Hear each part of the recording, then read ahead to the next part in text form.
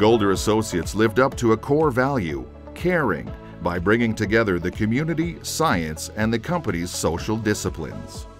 By providing financial and volunteer support for the University of Calgary's public archaeology program at Blackfoot Nation Historical Park, Golder aided research of a significant archaeological site that is under consideration for World Heritage Site status.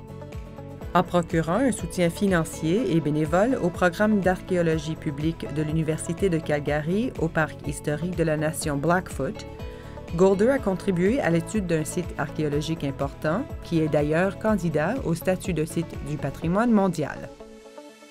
The result was a unique opportunity to engage the public, First Nations, the University of Calgary, and archaeology. Jurors noted that the consulting engineers donated financial support, professional knowledge, and personal time to an archaeological excavation at the Siksika Nation site. The project was an interesting way to build relationships between the public and First Nations and provided valuable experience for graduate students.